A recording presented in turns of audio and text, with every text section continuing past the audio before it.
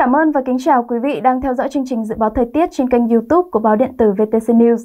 Thưa quý vị, theo Trung tâm Dự báo Khí tượng Thủy văn Quốc gia, do ảnh hưởng của không khí lạnh nên miền Bắc tiếp tục hạ nhiệt, nhiệt độ trong khoảng từ 13 đến 18 độ.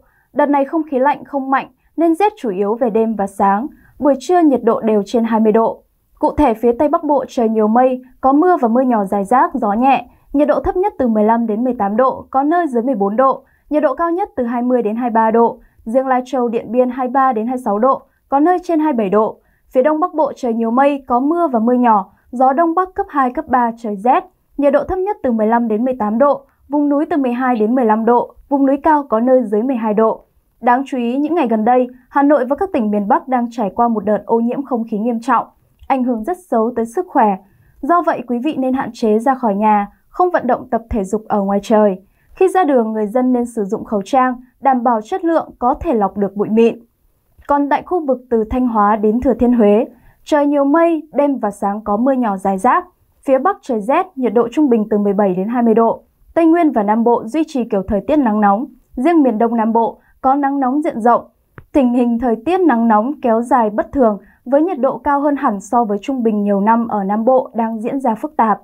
Nắng nóng kéo theo xâm nhập mặn tăng, mặn sẽ đi sâu vào nội đồng, ảnh hưởng rất lớn đến đời sống và hoạt động sản xuất nông nghiệp của bà con. Chuyển sang một số thông tin thời tiết đáng chú ý trên thế giới. Thưa quý vị, trái đất vừa phá vỡ kỷ lục nhiệt độ trong tháng thứ 9 liên tiếp, trong đó châu Âu đang phải ứng phó với tình trạng nóng lên toàn cầu, kèm theo tình trạng khô hạn kéo dài nghiêm trọng. Thông tin chi tiết sẽ được chúng tôi gửi đến quý vị ở phần sau của chương trình. Còn bây giờ như thường lệ là phần dự báo chi tiết các vùng trên cả nước. Khu vực Hà Nội, nhiều mây, có mưa nhỏ, gió đông bắc cấp 2, cấp 3, trời rét. Nhiệt độ thấp nhất từ 17 đến 19 độ, nhiệt độ cao nhất từ 19 đến 21 độ. Phía Tây Bắc Bộ, nhiều mây, có mưa và mưa nhỏ rải rác, gió nhẹ, trời rét. Nhiệt độ thấp nhất từ 15 đến 18 độ, có nơi dưới 14 độ. Nhiệt độ cao nhất từ 20 đến 23 độ, riêng Lai Châu, Điện Biên từ 23 đến 26 độ, có nơi trên 27 độ. Phía Đông Bắc Bộ, nhiều mây có mưa và mưa nhỏ, gió Đông Bắc cấp 2, cấp 3, trời rét. Nhiệt độ thấp nhất từ 15 đến 18 độ, vùng núi từ 12 đến 15 độ, vùng núi cao có nơi dưới 12 độ. Nhiệt độ cao nhất từ 18 đến 21 độ. Khu vực Thanh Hóa, Thừa Thiên Huế, nhiều mây, đêm và sáng có mưa nhỏ rải rác, sau có mưa vài nơi, gió Bắc đến Tây Bắc cấp 2, cấp 3, phía Bắc trời rét. Nhiệt độ thấp nhất từ 17 đến 20 độ, nhiệt độ cao nhất từ 20 đến 23 độ. Khu vực Đà Nẵng đến Bình Thuận, có mây, đêm có mưa rào vài nơi, ngày nắng, gió Đông Bắc cấp 2, cấp 3, nhiệt độ thấp nhất từ 22 đến 25 độ, nhiệt độ cao nhất phía Bắc từ 26 đến 29 độ, phía Nam từ 30 đến 33 độ. Khu vực Tây Nguyên, có mây, đêm có mưa rào vài nơi, ngày nắng, có nơi nắng nóng, gió nhẹ. Nhiệt độ thấp nhất từ 20 đến 23 độ, nhiệt độ cao nhất từ 31 đến 34 độ, có nơi trên 34 độ. Nam Bộ có mây, đêm không mưa, ngày nắng, có nơi nắng nóng. Riêng miền Đông có nắng nóng diện rộng, gió Đông Bắc đến Đông cấp 2, cấp 3, nhiệt độ thấp nhất từ 24 đến 27 độ, nhiệt độ cao nhất từ 32 đến 35 độ, riêng miền Đông từ 35 đến 37 độ. Dự báo thời tiết biển, Bắc Vịnh Bắc Bộ có mưa rải rác, tầm nhìn xa trên 10 km, giảm xuống từ 4 đến 10 km trong mưa, gió Đông Bắc cấp 4, cấp 5, sóng cao từ 0,5 đến 1,5 m. Nam Vịnh Bắc Bộ có mưa rải rác, tầm nhìn xa trên 10 km, giảm xuống từ 4 đến 10 km trong mưa, gió Đông Bắc đến Đông cấp 4, cấp 5, sóng cao từ 1 đến 2 m. Quảng Trị đến Quảng Ngãi có mưa rải rác, tầm nhìn xa trên 10 km, giảm xuống từ 4 đến 10 km trong mưa, gió đông đến đông nam cấp 4, sóng cao từ 1 đến 2 m. Bình Định đến Ninh Thuận có mưa vài nơi, tầm nhìn xa trên 10 km, gió đông bắc cấp 4, sóng cao từ 1,5 đến 2,5 m. Bình Thuận đến Cà Mau không mưa, tầm nhìn xa trên 10 km, gió đông bắc cấp 4 cấp 5, sóng cao từ 1,5 đến 2,5 m. Cà Mau đến Kiên Giang không mưa, tầm nhìn xa trên 10 km, gió đông cấp 3 cấp 4, sóng cao từ 1 đến 2 m. Quần đảo Hoàng Sa không mưa, tầm nhìn xa trên 10 km, gió đông bắc cấp 5, sóng cao từ 2 đến 3 m. Quần đảo Trường Sa không mưa, tầm nhìn xa trên 10 km, gió đông bắc cấp 4 cấp 5, sóng cao từ 1,5 đến 2,5 m. Vịnh Thái Lan không mưa, tầm nhìn xa trên 10 km, gió đông nam cấp 3 cấp 4, sóng cao từ 0,5 đến 1,5 m. Do ảnh hưởng của đợt không khí lạnh tăng cường, miền Bắc sẽ rét khô trước khi chuyển mưa ẩm vào cuối tuần, kèm theo đó là tình trạng nồm ẩm tái diễn và kéo dài nhiều ngày. Theo Trung tâm Dự báo Khí tượng Thủy văn Quốc gia, do ảnh hưởng của không khí lạnh nên miền Bắc tiếp tục hạ nhiệt, nhiệt độ trong khoảng từ 13 đến 18 độ. Đợt này không khí lạnh không mạnh nên rét chủ yếu về đêm và sáng. Buổi trưa nhiệt độ đều trên 20 độ, cảm giác chỉ xe lạnh. Bên cạnh đó, không khí lạnh tăng cường yếu khiến mưa nhỏ có thể xuất hiện nhiều nơi ở Bắc Bộ. Từ đêm nay ngày 9 tháng 3 đến 12 tháng 3, Bắc Bộ mưa nhỏ, đêm và sáng trời rét. Tình trạng nồm ẩm tái diễn và kéo dài nhiều ngày. Trong đó, khu vực từ Thanh Hóa đến Thừa Thiên Huế mưa rải rác, trời xe lạnh, nhiệt độ giao động từ 21 đến 25 độ C. Phía Bắc trời rét, các khu vực khác đêm mưa rào vài nơi, ngày nắng, miền Đông Nam Bộ có nơi nắng nóng. Ở vùng biển phía Đông Bắc của khu vực Bắc Biển Đông đã có gió Đông Bắc mạnh cấp 6, giật cấp 7, cấp 8, sóng biển cao từ 2 đến 4 mét, biển động. Khu vực Tây Nguyên nắng nhiều, nhiệt độ cao nhất là 34 độ, Đà Nẵng đến Bình Thuận từ 28 đến 31 độ C. Tại Nam Bộ, nắng nóng dịu bớt, nóng cục bộ chỉ còn ở Biên Hòa, Cao Lãnh và Vĩnh Long với mức nhiệt khoảng 35 độ C. Trước tình hình thời tiết diễn biến phức tạp, theo báo cáo hiện trạng môi trường quốc gia, chất lượng không khí tại Hà Nội đang suy giảm khi nhiều ngày có chỉ số chất lượng không khí ở mức kém và xấu, nồng độ bụi mịn gấp gần 2 lần quy chuẩn. Trong đó có 29 trên 30 quận huyện thị xã tại Hà Nội, chất lượng không khí rất xấu. Theo báo cáo hiện trạng môi trường quốc gia, nồng độ bụi mịn PM2.5 đường kính từ 2,5 micron trở xuống trong không khí trung bình năm tại Hà Nội giai đoạn từ năm 2018 đến năm 2020 vượt gần 2 lần quy chuẩn kỹ thuật quốc gia. Số ngày trong năm 2019 có chỉ số chất lượng không khí kém và xấu chiếm 30,5%. Một số ngày chất lượng không khí ở ngưỡng rất xấu. Đáng nói, nồng độ PM xuất hiện tại 29 trên 30 quận huyện thị xã. Nguồn phát thải bao gồm nguồn từ giao thông chiếm 66,3% đối với PM2.5 và hơn 54% đối với PM10, 10 micron trở xuống. Ngoài ra, đốt dâm dạ ngoài trời và hoạt động công nghiệp cũng được xác định là nguồn phát thải lớn hai loại bụi này. Ủy ban nhân dân thành phố Hà Nội đang lấy ý kiến về kế hoạch quản lý chất lượng môi trường không khí đến năm 2030, định hướng đến năm 2035 để ứng phó tình trạng chất lượng không khí đang có chiều hướng suy giảm trên diện rộng. Trong đó, đặt mục tiêu phần đầu đến năm 2030, 75% đến 80% số ngày trong năm có chỉ số chất lượng không khí VNAQI ở mức tốt và trung bình từ 51 đến 100, tức màu vàng. Hà Nội cũng đặt chỉ tiêu đến năm 2030 kiểm soát nồng độ PM2.5 trong không khí trung bình năm ở nội đô dưới 40 microgram trên 1 mét khối khí chuẩn và dưới 35 microgram trên 1 mét khối khí chuẩn đối với khu vực ngoại thành. Giá trị này vẫn cao hơn ngưỡng an toàn theo quy chuẩn quốc gia là dưới 25 microgram trên 1 mét khối khí chuẩn.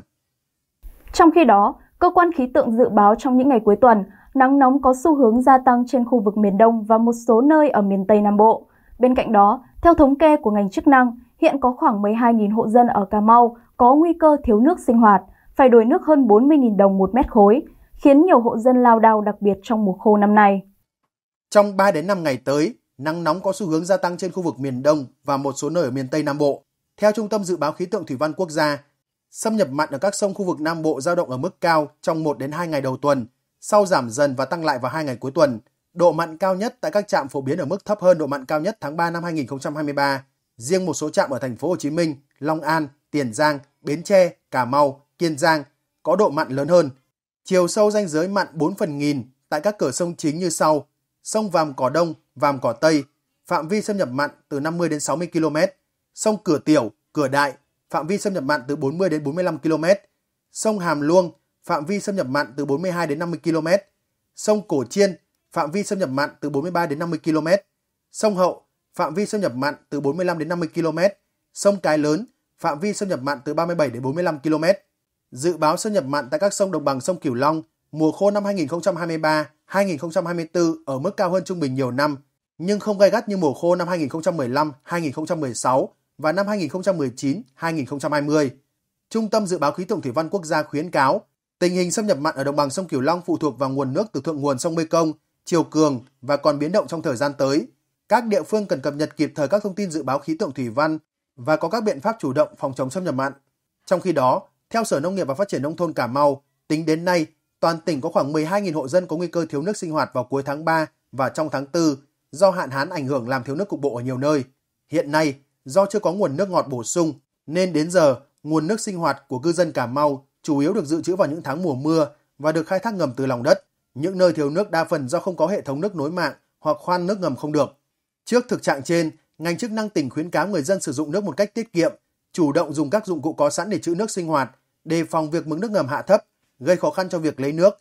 Đồng thời, các đơn vị chức năng đang giả soát những hộ thiếu nước để có giải pháp hỗ trợ như cung cấp bồn chứa nước, nâng cấp, mở rộng hệ thống cấp nước, nhằm giảm thiểu tối đa nguy cơ thiếu nước và đảm bảo cuộc sống cho nhân dân.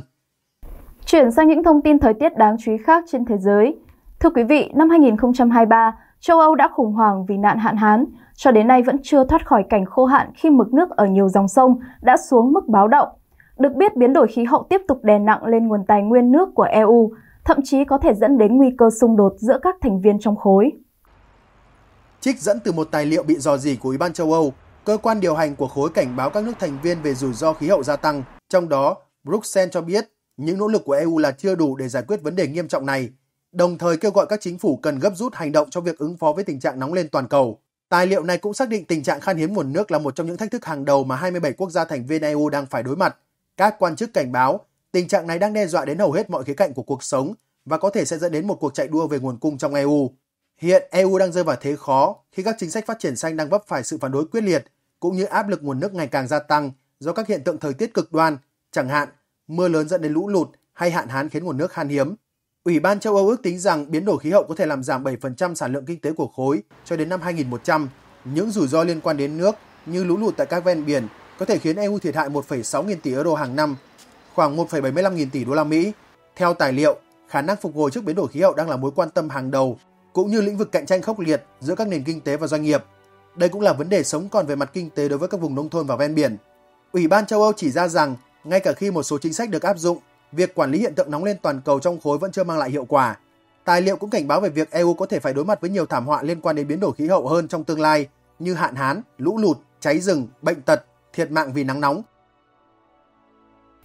Thưa quý vị, nắng nóng là tình trạng phổ biến của thế giới trong tháng 2 vừa qua. Đáng chú ý theo dữ liệu mới từ dịch vụ giám sát khí hậu của Liên minh châu Âu EU, đây cũng là tháng nóng nhất hành tinh được ghi nhận, đánh dấu tháng thứ 9 liên tiếp mà kỷ lục nhiệt độ toàn cầu bị xô đổ. Cơ quan theo dõi biến đổi khí hậu châu Âu Copernicus nhận thấy tháng 2 vừa qua ấm hơn 1,77 độ C so với tháng 2 trung bình trong thời kỳ tiền công nghiệp. Nó cũng đã kết thúc khoảng thời gian 12 tháng nóng nhất trong lịch sử được ghi nhận, ở mức 1,56 độ C so với mức tiền công nghiệp. Đây lại là một cột mốc quan trọng khác về biến đổi khí hậu, khi những tác động lâu dài của hiện tượng nóng lên toàn cầu do con người gây ra và được thúc đẩy bởi hiện tượng tự nhiên El Nino. Carlo Bontempo, giám đốc Copernicus cho biết trong một tuyên bố, tháng 2 vừa qua đã nối tiếp chuỗi kỷ lục dài trong vài tháng qua. Điều đáng chú ý là điều này có vẻ xuất hiện nhưng không thực sự đáng ngạc nhiên vì sự nóng lên liên tục của hệ thống khí hậu chắc chắn sẽ dẫn đến những hiện tượng nhiệt độ cực đoan mới. Theo phân tích, nhiệt độ toàn cầu trong nửa đầu tháng 2 nói riêng đặc biệt cao. 4 ngày liên tiếp, từ ngày 8 đến ngày 11 tháng 2, nhiệt độ ấm hơn 2 độ C so với thời kỳ tiền công nghiệp. Trong khi đó, các nhà khoa học quan tâm nhiều hơn đến sự nóng lên trong thời gian dài, thì những biến động tạm thời này là một dấu hiệu rõ ràng và đáng báo động về tình trạng nóng lên đang gia tăng. Bản tin dự báo thời tiết và cảnh báo thiên tai của báo điện tử VTC News hôm nay đến đây xin được tạm dừng. Kính chúc quý vị có ngày nghỉ cuối tuần vui vẻ và hạnh phúc bên gia đình và người thân.